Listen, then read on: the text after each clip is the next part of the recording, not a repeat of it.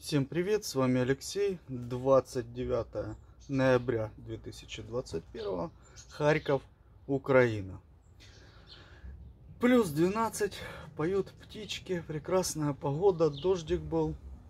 В общем, все как обычно, все как положено. Смотрите, э, значит, э, сейчас поговорим о садовом варе и чем его можно заменить.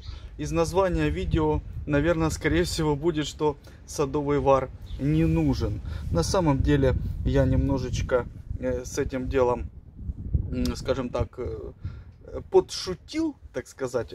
Поэтому садовый вар, конечно же, нужен. Я пользовался вот таким садовым варом. Самым дешевым палочкой наносил. Вот такой еще приобретал. Есть пчелиным воском, тут разные составы. Есть вот подороже, со шпательком внутри, резиновым, очень удобный. Для чего мне нужен садовый вар? Э, я его оставлю для того, что я буду пользоваться, естественно, для больших срезов и больших ран, огромных, да, то есть на каких-то больших деревьях. Это не касается, в принципе, фундука, наверное, хотя и на фундуке бывают очень большие срезы, скажем так, да. Ну, в общем, вы меня поняли. Примерно такая ситуация. Чем мы можем его заменить? Значит, вот такая тема. Бальзам Golden Garden, вернее, Club. Э, виробник Німеччина 200 грамм. Открываем. Вот. Сам бальзам, там он ничем не защищен, скажем так. И такая типа щеточки, которая позволит нам удобненько э, наносить. Так, смотрите, вкратце буквально про этот бальзам покупался.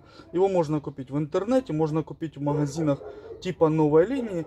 Стоит в районе 10 долларов, смотря где как. Да, ну, чтобы всем было удобно, всем было понятно. Я этот приобретал за там что-то 280 гривен новой линии. Но так как у меня были бонусы, он мне получился дешевле, скажем так. Э, взял один пока на пробу. Сейчас попробую, если понравится, будем работать. Значит, вкратце буквально по инструкции. Виробник Німеччина, еще раз повторюсь. Германия, все в порядке. 200 грамм, значит, наносится, можно наносить в отличие от садового вара, э, за что мы якобы переплачиваем. Значит, маленький расход, это однозначно, во-первых. Во-вторых, Э, удобство нанесения. То есть я буду пользоваться для фундука в основном. Я сделал срез и сразу его можно замазывать. Не надо ждать несколько дней, пока срез подсохнет, как на садовом варе. И многие садовый вар наносят толстыми слоями. Он потом течет и растению это особой пользы не приносит. Поэтому как бы надо еще с этой стороны смотреть. В общем, понятно. Э, по что рекомендует производитель? Значит, э, за сутки Э, до нанесения и после нанесения, э, особенно после нанесения, да, скорее, не должно быть э, минусовых температур и дождя. Понятно, да? То есть мы смотрим, что заморозков не предвидится, холодной температуры не предвидится. И наносим и тонкого слоя, как правило, достаточно. Так, хорошо. Сейчас мы вместе с вами его и опробуем. Но перед этим я хочу вам показать вот такие вот вот такую тему, да, вот такие ножницы садовые. Они из недорогих, мне их посоветовал один из местных фундуководов. Как их легко можно узнать? Значит, на упаковке все в иероглифах и написано Japan Quality. Japan Quality, то есть японское качество. Ну, все понимаем, и тем не менее. Китай, конечно, и тем не менее, цена недорогая была, точно не могу сказать, но что-то в районе там 160 гривен.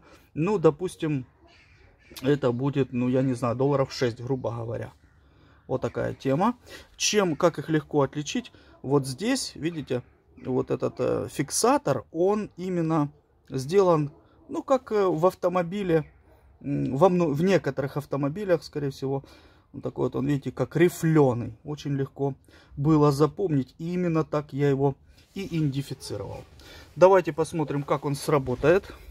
Вот такой кусочек фундука я взял веточку. Также хочу отметить, я буду пользоваться этим бальзамом. В основном я его купил для черенков. То есть в этом году весной будут черенки фундука. Многие спрашивали. Я не хотел этим заниматься, но сейчас буду, скажем так. Делаем срез. Раз. Значит, я уже пользовался этим инструментом неоднократно при отправке посылок. Давайте вот вам сблизи покажу. Ну, как по мне, срез более-менее нормальный, как для очень бюджетного секатора. Э, значит, что мне сказал человек, который подсоветовал, спасибо ему огромное, он сказал, что он долго не тупится. Понятное дело, что лучше купить дебуи, который был по акции там за тысячу гривен, да, там совсем другие цены. Здесь цена, как бы, цена-качество, я считаю, достойная. Ну и теперь самое главное, пробуем. Немножечко, немножечко берем, выдавливаем чуть-чуть и пробуем намазывать. Ну, понятное дело, это первый раз. Как намазывать? Тонким слоем. И захватывать надо до 2 сантиметров. Это, наверное, если большие какие-то срезы. Вот. А у нас срез небольшой. Сейчас пока раствор, видите, э, смесь, скажем так, она только начинает выходить. Поэтому, естественно, надо несколько раз сделать. И вот такая тема у нас получается. Вот. Все замечательно. Опробовано. Одобрено, так сказать. Вот. И мне нравится результат. Ну что, в принципе, все показал. Постараюсь пользоваться этим бальзамом в посылках, для того, чтобы качество саженца еще улучшалось, сервис улучшался и так далее и тому подобное. Всем спасибо огромное, кто смотрел. Кому понравилось, поставьте лайк, пожалуйста, традиционно для этого видео.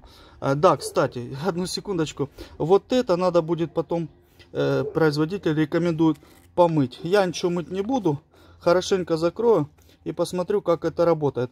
Я думаю, что можно взять полиэтилен или стрейч пленку еще лучше. Вот так вот одеть, а потом уже закрутить. И ничего с этим бальзамом не будет, потому что у меня такой бальзам мне давали уже э, в открытом виде.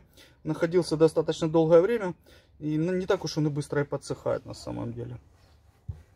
Итак, кому понравилось, поставьте, пожалуйста, жирный лайк. Кому очень понравилось, поделитесь, пожалуйста, этим видео. Внизу есть строчка поделиться. Кому что-то непонятно, напишите, пожалуйста, в комментариях. Ну и будем, наверное, прощаться. Всем спасибо огромное, кто смотрел эти э, познавательные, ну как познавательные, я назову их обучающими видео, да, э, которые на самом деле, может быть, скучноватые, честно говоря, но зато очень-очень полезные. Всем огромный привет из Харькова и всем пока.